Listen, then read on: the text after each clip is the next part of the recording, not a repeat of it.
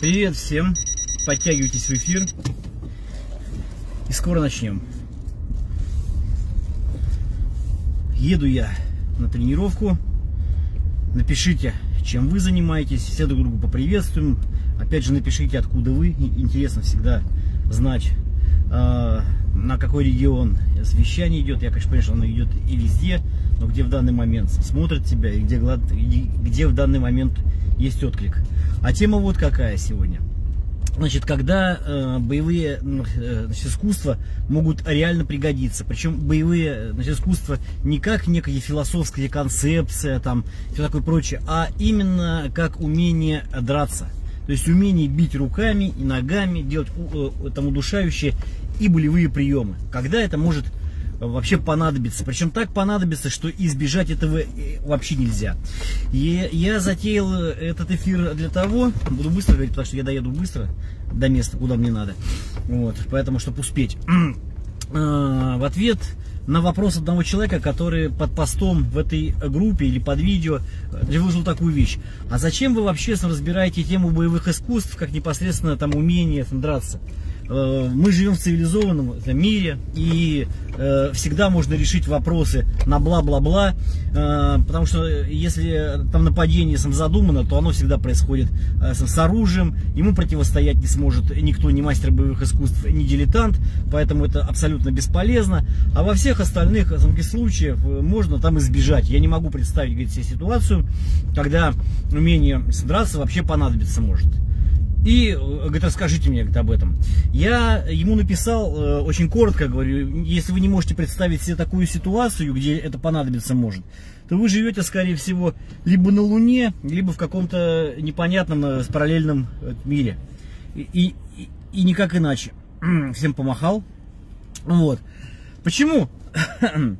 Да очень просто, потому что такие ситуации есть даже в самом цивилизованном мире. Есть такие вещи, когда если вы э, не сможете быстро там, отреагировать определенным образом, а реакция будет у вас однозначная, то вы м, просто потеряете... Э, нет, не жизнь. Вы потеряете, скажем так, гораздо больше. Вы потеряете свою осознанную жизнь и потеряете свое лицо и вообще все, что есть у вас э, в, в глазах тех людей, которым вы вообще не безразличны. Совсем. Я сейчас объясню. Вот представьте себе такую ситуацию, я об этом уже говорил, по-моему, не раз, что вы идете по парку, по городскому с, э, с женой и ребенком, предположим, с девочкой там нескольких лет или сыном, и вдруг сидят какие-то какие хулиганы, э, которые прямо при вас задирают юбку вашей жене там и говорят, ну что красивая, бросай лоха, ну так соси у меня прямо здесь. Что вы будете делать? Ну, ладно, если они там ограничились самки, словами просто. А если они переходят реально к действию, хватают ее за грудь и за задницу, с, э, э, снимают с нее самки, э, ну, э, э, ну, трусы, что вы будете делать? На каком у самки, базаре сам съезжать вы соберетесь? Даже если вам удастся сам съехать на базаре, кем вы станете вообще после этого в глазах собственных э, э, за ребенка своего и своей сам жены? А если к вашему ребенку цепляется педофил, причем это конкретно, совершенно понятно, что это так и есть. Вы видите, что он э, там ну, пристает к нему, там трогает его за попу, там и все такое прочее. Вы представляете такие ситуации? Вы что, не будете реагировать, что ли, никак? Или, предположим, э, вы находитесь там у себя дома, приходите к себе домой, а там находится вор, э, в маске посторонний человек, например, ну, такой же, как и вы, э, по габаритам, по комплекции, без оружия. Просто вы его застали, понимаете? И он говорит, эй, мужик, отвали, я выйду. А сам несет что-то. Вы, вы можете подгадывать, там оставь, что взял, и там иди. А он говорит, не, не, я выйду с тем, что взял, а ты пошел нахер. Вы не будете его задерживать? Вы попытаетесь его задержать, а он вас ударит. И вы не будете с ним драться? Ребят, да что, о чем вы говорите-то? И кто-то скажет, нет, в таких случаях там надо там вообще там нож, там пистолет. Нет.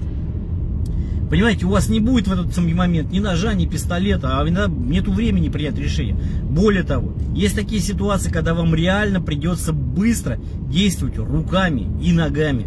Вы заходите в подъезд и вас ударяют, предположим, палкой по голове. Даже пускай это задумано было. Но вас не вырубили. и тут же вас начинают бить руками и ногами.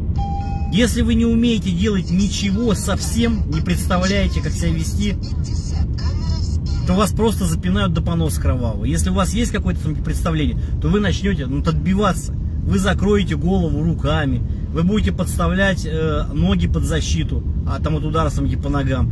Вы сможете что-то сделать очень быстро, хотя бы даже для того, чтобы достать даже то, что у вас есть. Например, у вас есть оружие, ну, в смысле, э, травматическое.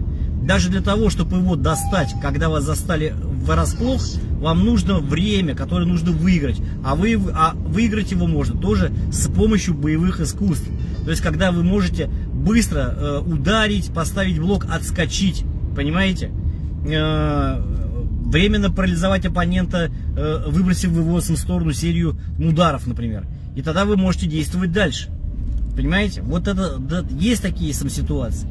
Это глупо рассуждать наоборот, что всегда на базаре. Есть такие моменты, когда с вами и разговаривать-то никто не соберется. Я расскажу вам историю простую, которая, конечно, меня не красит вообще никак, совсем. Но я вырос в, в 90-е.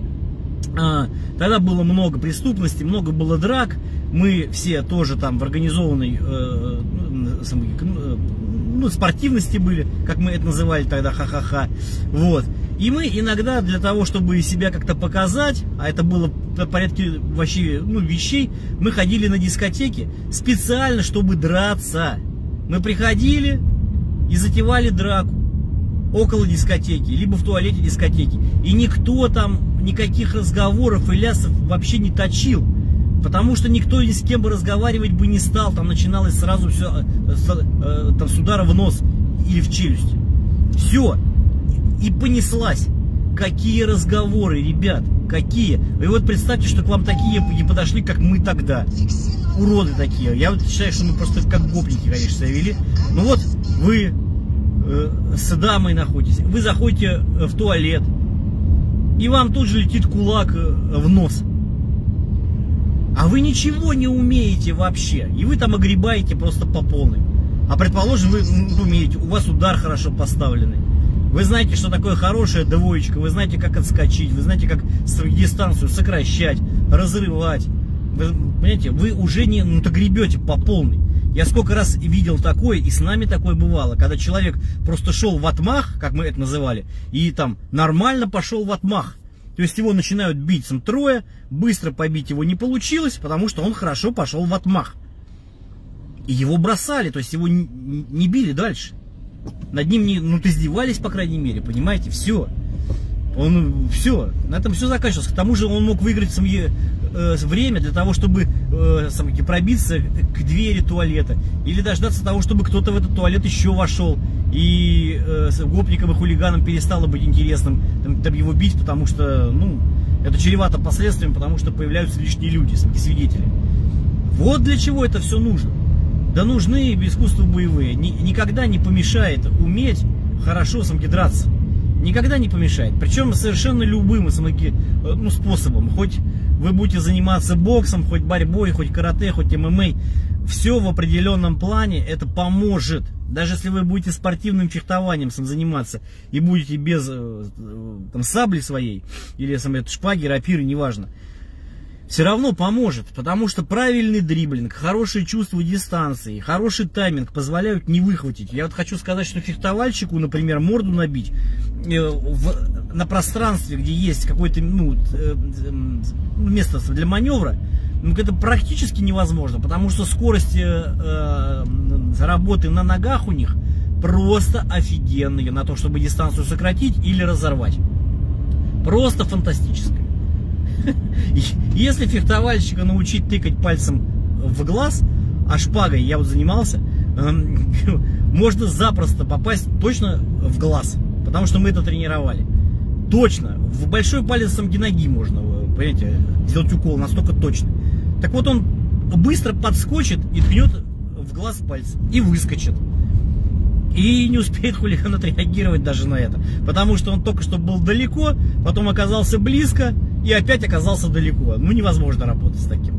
Понимаете, в любой вид спорта, а особенно боевой вид спорта, есть понятие о длине рук, длине ног дистанции взаимодействия, дистанции МААЙ, э, тайминге, он, конечно, позволяет уметь защищать себя более эффективно, безусловно.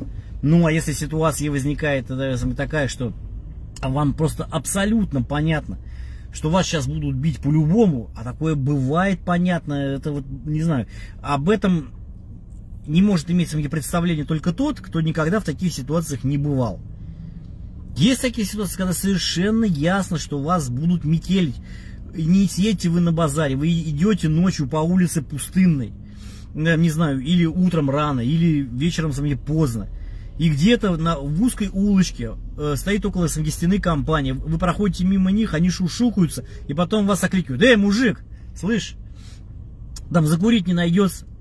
Вы что думаете, им надо закурить? Они находят просто формальный повод для того, чтобы вы остановились и заговорить вам зубы, и все. Это совершенно понятно, что вас не... Вы можете что хотите говорить, что угодно. Но вы все равно выхватите, понимаете? Это вам остается либо бежать, если возможность есть, если ее нет, будет обязательно сам, сам драк. Ну, чаще всего можно, блин, убежать.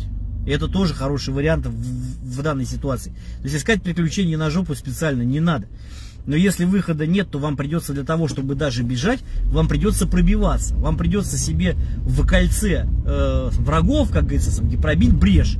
А это будет либо удар ногой, либо удар рукой, либо двойка, либо защита одного там, отбьете, перекрываетесь им и убегаете. Но все равно придется, придется прибегнуть к физическому взаимодействию, как я это называю, тел. По-другому это не работает. То есть таких моментов, когда это произойдет, полно. А еще я хочу привести одну цитату. Я не помню откуда, но, по-моему, не из Ямамото Цунетома она, и не из Хагакуры, но тоже от кого-то из японских. Э, Юкио Мисима, мне кажется, все-таки это написал. Это классика японская, да, ну уже ну, гораздо более поздняя. Но это прошлый век. Он, э, значит, написал, вы можете... Э, как сказать, так сказать, вы, не, я не помню, дословно не процитирую, то есть э, там как раз речь идет о том, что вы можете э, э, человека э, там отговорить э, или не отговорить, а э, вы не можете заставить человека, вы, вы можете повести себя так, э, что другой человек не заставит вас делать то, что вам не хочется. Кроме ну, одного, если человек хочет драться, то вам придется драться. То есть, если человек говорит вам, отдай деньги, вы, вы можете не отдать. Или, например, там, я не знаю, он говорит вас, меняй там убеждения свои, там, вы можете говорить, нет я не буду менять убеждения. Ну, а может что-нибудь э, вменять вину что-то там, вы можете с этим не соглашаться и все такое прочее. То есть можете не поступать так, как он хочет. Но если он хочет с вами драться, то вам придется драться. Есть, конечно, другой, э, нет, это, это, конечно, по-японски, да, рассуждая. Если по-христиански сам рассуждать, то когда вас начинают бить, вы можете подставлять там щеки до бесконечности, пока вас не там убьют вообще. Вот, это да. А, но э, это будет избиение, и натубиение. Но если вы не хотите пострадать, то в данной ситуации все выглядит именно так. Если человек хочет драться с вами и начинает с вами драться, вам придется драться. Как бы то ни было. Все. Поэтому такие ситуации, когда приходится это делать, они бывают.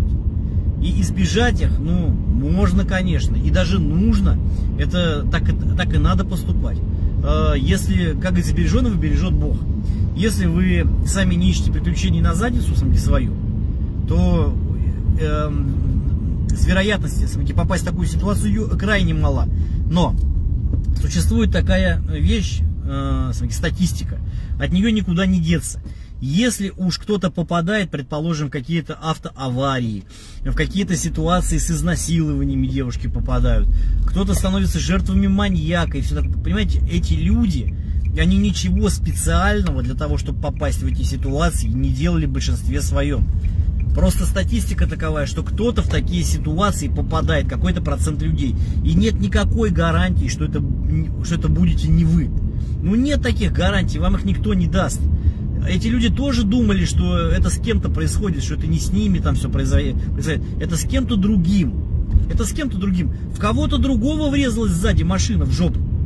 Понимаете, я-то, понимаете, вот человек может быть вообще не виноват, вообще ни в чем. Он стоит на светофоре, ему на полном ходу в жопу въехал тот другой, там пьяный, например. Это мог, можете быть и вы. Вы не можете это при, э, э, гарантировать, что с вами этого не произойдет. Вы соблюдали все правила. Вы все делали так, как надо. То есть, понимаете, береженого Бог бережет. Вы все делали. Ну, разве кроме того, что вы за руль сели. Если бы вы не сели за руль, то не въехал бы вам никто в жопу, условно говоря. Но вот такая ситуация. Коль скоро вы ходите по улице, то есть вероятность такая, что вы попадете в такую ситуацию, где придется вам э, э, э, ну, взаимодействовать там, с оппонентами какими-нибудь. Никуда не деться от этого. Вот так, друзья мои.